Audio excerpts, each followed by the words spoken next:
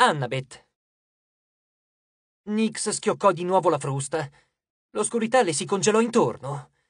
Ai suoi fianchi comparve un esercito di ombre, altre arai con le ali nere che Annabeth non era per niente contenta di vedere, un vecchio avvizzito che doveva essere Geras, il dio della vecchiaia, una donna più giovane con una veste nera, gli occhi scintillanti e un sorriso da serial killer, senz'altro Eris, dea della discordia. Altri continuavano ad apparire, decine di demoni e divinità minori, ciascuno discendente di notte. Ma Annabeth avrebbe voluto scappare. Si trovava davanti una nidiata di orrori che avrebbero fatto perdere la ragione a chiunque. Ma se fosse scappata, sarebbe morta. Accanto a lei, il respiro di Percy si fece sottile. Anche attraverso il camuffamento spettrale, Annabeth intuì che era sull'orlo di un attacco di panico. Doveva tenere duro per tutti e due. Sono una figlia di Atena, pensò. Ho il controllo della mia mente. Immaginò una cornice mentale intorno a ciò che stava vedendo. Si disse che era solo un film, un film dell'orrore, certo, e che non poteva farle alcun male. Aveva la situazione in pugno. Sì, non male, ammise. Potremmo fare una foto per l'album, ma non so, siete così scuri. Anche se usassi il flash, non so se verrebbe bene.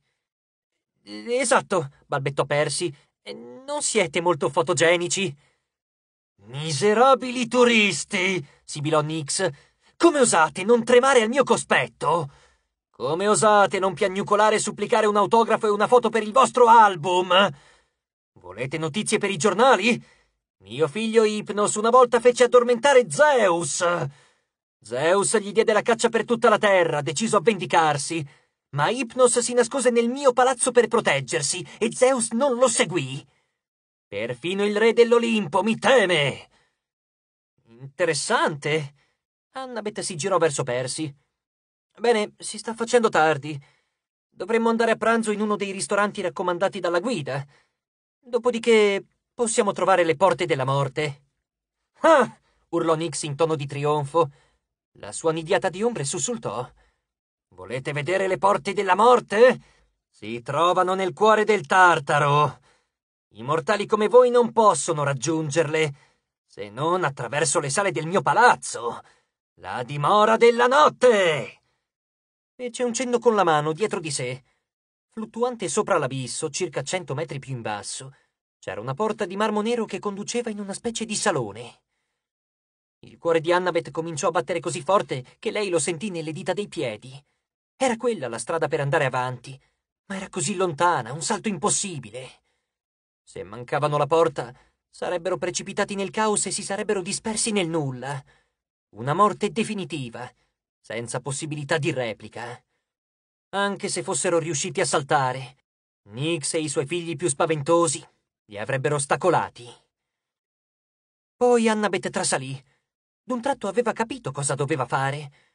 Come tutto ciò che aveva compiuto in vita sua, era un'impresa rischiosa. E in un certo senso questo pensiero la calmò. Un'idea folle per sfidare la morte? Ok, sembrava dirle il suo corpo, rilassandosi. È una cosa che conosci. Sai come muoverti. La figlia di Atena abbozzò un sospiro annoiato. Potremmo fare una foto, ma una di gruppo non funzionerà.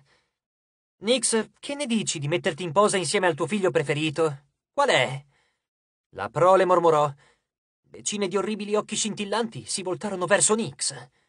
La dea si mosse imbarazzata, come se il carro si scaldasse sotto i suoi piedi. I cavalli di tenebre sbuffarono e scalciarono nel vuoto. Il figlio preferito? domandò. Tutti i miei figli sono terrificanti! Percy sbuffò. Davvero? Ho conosciuto le parche, ho conosciuto Thanatos. Non erano così spaventosi. Ci sarà qualcuno in questa folla che è peggio di loro. Il più cupo, suggerì Annabeth. Quello che ti assomiglia di più. Sono io la più cupa, sibilò Eris. Guerra e discordia. Ho provocato ogni genere di morte. Io sono ancora più cupo, ringhiò Geras. Oscuro la vista e confondo il cervello. Tutti i mortali temono la vecchiaia. Sì, sì, commentò Annabeth, tentando di ignorare il fatto che batteva i denti. Ma non vedo abbastanza tenebre. Insomma, siete figli di Nix. Mostratemi il lato scuro. Lorda di Arai gemette, sbattendo le ali da pipistrello e sollevando nubi di buio. Geras spalancò le mani avvizzite e oscurò l'intero abisso. Eris soffiò una scarica tenebrosa di proiettili nel vuoto. Sono io il più cupo, sibilò uno dei demoni. No, io. No, guardate quanto sono cupo io. Se mille polpi giganti avessero spruzzato inchiostro contemporaneamente sul fondo della fossa oceanica più profonda e oscura, non sarebbe stato più buio. Annabeth avrebbe anche potuto essere cieca. Afferrò la mano di Percy e tentò di tenere i nervi saldi. Aspettate! gridò Nix, colta all'improvviso dal panico. Non vedo niente! Sì! urlò uno dei suoi figli con orgoglio. Sono stato io! No, io! Ciocchi, sono stato io! Decine di voci litigavano nell'oscurità. I cavalli nitrirono preoccupati. Basta! gridò di nuovo Nix. Di chi è questo piede?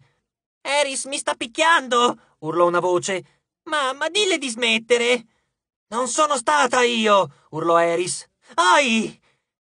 Il rumore di tafferugli si fece più forte. Se possibile, l'oscurità divenne ancora più profonda. Gli occhi di Annabeth si dilatarono così tanto che era come se qualcuno volesse strapparglieli dalle orbite. Strinse la mano di Percy. Pronto? Per cosa? replicò lui. Poi, dopo un attimo di silenzio, sbuffò sconsolato. Per le bracche di Poseidone non puoi fare sul serio! Qualcuno mi faccia luce! Gridò Nix. No! Non riesco a credere di averlo detto! È un trucco! urlò Eris. I semidei stanno fuggendo! Li ho presi! strillò una delle arai. No, è il mio collo! replicò Geras con voce strozzata. Salta! disse Annabeth a Percy. I ragazzi saltarono nelle tenebre, puntando verso la porta che era giù in basso, molto, molto lontano.